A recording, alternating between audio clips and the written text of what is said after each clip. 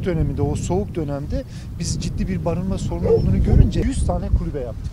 Yere sabitledik dolayısıyla alınıp götürme gibi durumları yok. Çok Ee, güzel düşünmüşsünüz. önlerine böyle rüzgardan, güneşten, kardan koruyacak perdelikler de yaptığınızda e, çok mutlu oluyorlar.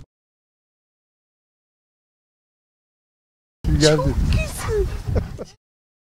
İlktaş'ta ve bu projenin içinde kadın olmasının farkındalığını da çok yaşıyorum. çok Kesinlikle teşekkür ederim. Kesinlikle. Sizi de tebrik ediyorum. Ben elimden ne geliyorsa, e, ne yapabilirsem her şekilde yapmaya hazırım. E, İstanbul Vakfı ile birlikte e, size hazırız yardıma. Ben buradan herkesi bu canları sahiplenmeye davet ediyorum.